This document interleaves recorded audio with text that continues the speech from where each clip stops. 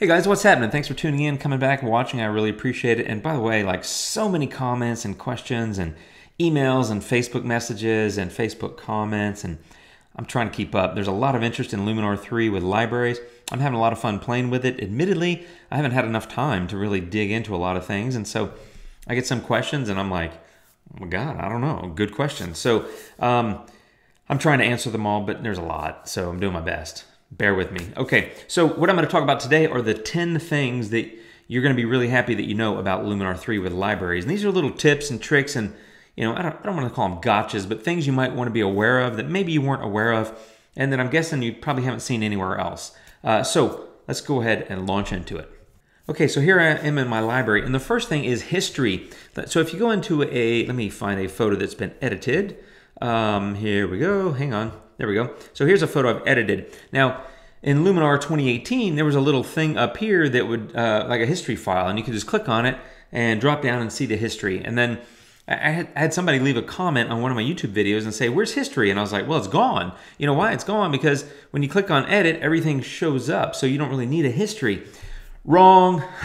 Jim was wrong. Uh, Jim needs to get his eyes checked history is still there. It's just kind of a little hard to see. If you go up here right above the histogram on this, uh, this third little um, icon is a clock. That's the history. Click on that drop down and look at that. Here's the history of everything I did to this photo, which as you can tell is quite a lot. Some of it was experimental and I went, you know, reversed course, whatever.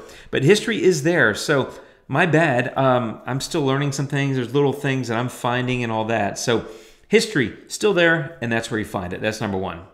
Okay, back in my library, the th second thing is that you can't view file names when you click on a photo. Like there's no file name, uh, and you got to click on it to go see the file name. Like this one says heading home copy, or under edit, you can click on, nope, sorry, under info, you can click on it and it says it there. But you know what? That's actually not true. You can see the file names when you're in this grid view in your library. And you know how? I'm going to show you. You go to View, and there's this thing called Tab Bar. Click on Show Tab Bar. This little tab comes up, and there's your file name. So now when I click on this file, file name. When I click on this one, file name. Click on this one, file name. So just go to View and click Show Tab Bar, and that's how you'll see your file names in this grid library view. That's number two.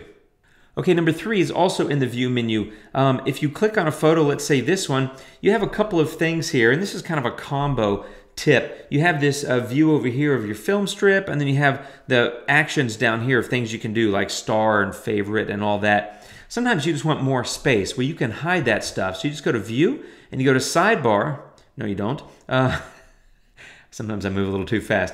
You click here and it says show film strip. Click that. I just hid the film strip a little bit more real estate for my photo. Now go to view and I can say hide current photo actions. Boom, just did that. Now you can go one further and hide the um, looks panel if, if that was showing. It's not showing, so now it's going to be showing, but I don't keep that open, so I would keep that hidden. But um, that's how that works. You can create a little bit more real estate for your photo, and generally speaking, you're going to want to have that sidebar open. But if you don't, you can also, uh, let's see here, you click on Edit, and boom, it's gone as well. So that's how you can adjust this screen to get more real estate for your photo. Okay, I just reset that the way it was. The other thing I want to talk about is the background. Like I always keep my background black, but you can change that. Now this is not new. This has been in Luminar forever, but you can just go to view background and you can change that maybe to white. So it depends to me on the photo. I generally leave it all black, but if you go up and let's say uh, maybe you're gonna frame this in white, uh, you know, lay it out with a white mat around it, you might wanna look at it to see, well, how do the colors look? Like that one looks okay, but you know, maybe this one would look better with white, right? So just something to think about. Again, I generally keep it in black or dark, it's called, but just know that you can adjust the color of the background and depending on the photo, especially if you're gonna lay it out, frame it, and get it matted and that sort of thing, with a colored mat, you might wanna take a look at it with different color combinations just to give you a sense of how it may look. Okay, so the other thing is the trash folder. I haven't really talked about that. I made a duplicate of this photo here. So if you click on it, you can see it says Venice Girls 2, and here it is, it says Venice Girls 1, right? So that's basically a JPEG and a copy of a JPEG. I just renamed them. There's my final version, which I'm not getting into here, but let's say you, you got a photo. I'm gonna take Venice Girls 2 and say I don't want it. I'm just gonna move that to trash, and it's gone from my library. But did you delete it from your folder? Let's go have a look. I'm um, this one is in my test pics folder. So let me go to test pics, which is right here. And you can look down here. There's Venice Girls 1 and there's Venice Girls 2. I did not, by putting it in trash, I did not remove it from my folder structure.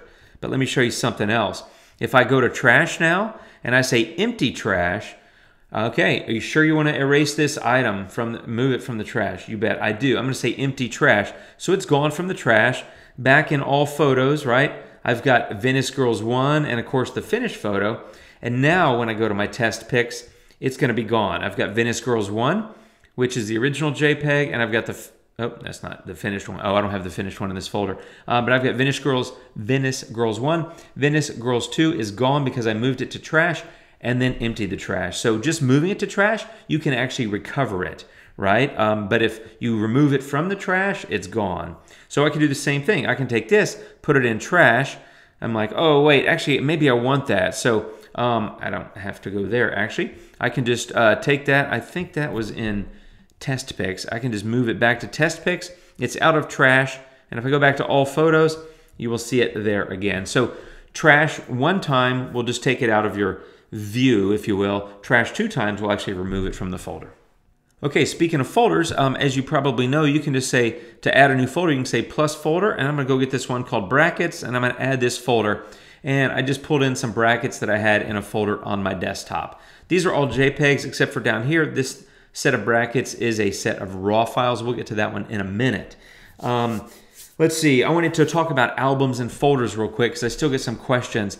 Um, folders physically mirror what's on your hard drive, right? Albums are virtual. So I can create an album and I can say, you know, awesome uh, faves, uh, if I can type awesome faves, and I can stick stuff in there. So let me go over here to finished pics and maybe that Venice Girls is an awesome fave. You bet. Maybe this photo here from uh, my hometown is an awesome fave, right? So I got a few photos in there. Uh, it added this one because I was already sitting on that photo when I created the album, so it does that by default. But if I want to take them out of here, I can just delete them, and then I can remove this awesome faves album. Say delete. Um, I'm deleting this album. Yep, you bet. But guess what? I didn't lose the photos, right? So if I go to my brackets, I've still got those three uh, photos. And if I go back to all photos, let's see, now it's I'm trying to remember what I had. I think I had uh, a Venetian picture in there, which, ah, here it is. I think I had them um, in there. So anyway, the point is albums are virtual, so it's just like a virtual collection of photos. Uh, folders are actual, real, tangible uh, folder structure like on your hard drive. So just to be aware of that. Okay, one of the questions I get is about presets, uh, also known as looks now, and workspaces, and how do you get them from 2018 to Luminar 3? Now, when I installed Luminar 3, it actually moved them over automatically. So I'm on a Mac. I don't know if it's different. I think it's the same for everybody, but I don't have a way to test it. Um, and if they didn't move over automatically, that's okay. You can go get them. So you can just go to File, and you can say Show Luminar Looks folder, and it's going to pull up uh, in Finder on a Mac this this menu, and you're going to go in there and you're going to say, oh, what are these? Well, these are my looks, right? So I've got all these different looks packs, also known as presets pack. The funny thing is, there's also a presets folder, and these are just my preset packs that I've made. But under looks, it includes um, mine, like London Calling and Magic Hour. Those are all mine, but it's also including other ones that I've downloaded that uh, Skylum has given away free. But anyway, here's the deal. If you keep scooting over, you can see I'm on Luminar 3 and looks. Well, there's also this Luminar 2018, right? So it's now got a looks folder, which has all those looks in it and presets as well. But if for some reason they weren't in your Luminar 3, you can go to Luminar 2018 and just take them from there and drag them over to Luminar 3. It's a just a drag. It's all you got to do. It's quick and easy. And it's actually the same thing for workspaces. I'll just go there and say File, Show Workspaces folder same thing. So I'm in this Luminar 3 folder. I've got workspaces. Here they are. Those mirror the workspaces that I have here in Luminar 3. But if for some reason they weren't there, they're still in Luminar 2018. Click on 2018 there and workspaces, there they are. And if they weren't in 3, just drag them over. You can just literally click and drag, right? So that's how it works. Quick and easy, it moves them over and they're there. Uh, they'll automatically be populated in your version of Luminar 3. Okay, let's keep going. Okay, the next thing is flags and ratings and things like that. So if I have this photo here, I can I can mark it as five star right there. I can also go up here to image and say rating, and you can see that it's five stars. If I want to go back to zero, I can unmark it, and there it is. The thing is, is you can do a number of different things. You can set it for flag, you know, flagged or rejected. You can set ratings like I just did. You can also set color labels. So some people might say, all right, I'm going to mark it as red, which means unedited, and I want to mark it as green, which means it is edited. Or maybe you take some brackets and you take some single exposures. You can pick a color for each. Or maybe you, you do long exposures. You want those to be, you know, blue, and you want you know, regular single quick snaps, if you will, to be green, whatever. The point is you can do all of that, but the cool thing is you can then come in here and sort by the different things, right? So you can go to five stars or red or yellow or blue, whatever. So you can quickly get to those and then start editing. So it's just a nice way to organize and virtually sort photos by the ratings that you've given them so you can jump in and start editing quickly. I think that's a cool feature. Okay, another thing to be aware of is uh, information here. So if you come over here, uh, if you click on a photo and then go into info, um, it has a photo title, but it also has the date, it has the camera, it has the um, exposure information. One of the things I love now is right here, it has the actual exposure value. So that was one one hundredth of a second. Quick snap of like a super freaking amazing sunset in Italy. Um, but one of the things I noticed is the date here is the European style. So that's actually day and then month being an American, I'm used to month and then day. So I was looking at this and it says August 9th, and I'm like, well, I wasn't there on August 9th. I was there on September 8th. So uh, just keep that in mind. If you're an American, if you're a European, you're probably like, hey, this is perfect. Uh, but for Americans, we get a little confused because that's backwards. So, for example, here's a great example. This was on January 13th. Well, there's no such thing as a 13th month, although let me tell you, there's some years when I could use an extra month. Um, but so that's obviously January 13th, not the 13th month, the first day. So just keep that in mind. That's obviously an HDR. I did that in London. Kind of a cool photo, really. I, I love that photo. Um, and by the way, if you want more real estate, remember just go over here and uh, go to View and uh, you know hide these things like photo actions and View and say hide film strip and you get a bigger view of it, right? I already talked about that. But the point really was here is be aware of the date. It's in the European, what I call the European format, but you also have exposure information here. So if you want to go back up and let's, let me go to my 360 bridge photos. These are long exposures. Uh, this one, I'll go over here and info, you can see that was 15 seconds at f22. Previous version of Luminar did not have the exposure info. Super freaking helpful because there are people, sometimes they'll ask me, hey, how long is that exposure? I'm like, I don't know, I got to get my external drive out, look up uh, uh, Lightroom, and anyway, no longer have to do that. Plus, it's just good to know because sometimes you want to know how long an exposure it was. So, FYI on that. And again, this was not April 12th, this was December 4th. Keep the date in mind. Okay, now I'm back to my um, library and I went into this folder of brackets that I added. And something I want to talk about here, and I want to sort these not by rating, I want to sort by capture time. So I get them all back together chronologically.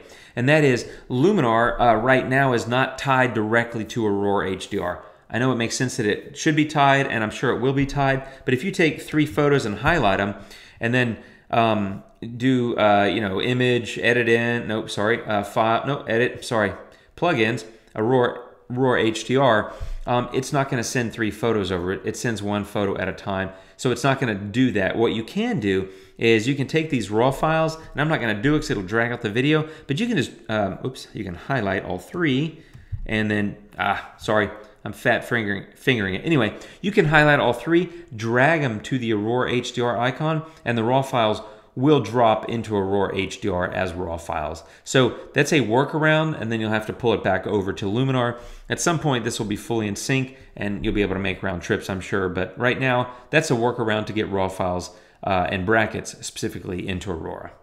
Okay, and the last tip is you can actually still view .lmnr files in Luminar, right? So I've had people say, was it only going to recognize my you know, file formats like JPEG, TIFF, RAW files, etc. Uh, no, it'll also recognize Luminar files. So here's a Luminar file. I'll click on it. You can see right there, because I have the tab view, you can see it's a .lmnr file. And if you want to click on it, uh, you can go over here. You can see it's a .lm. Oops, I don't mean to move that. You can see it's a .lmnr file, just a photo that I messed with.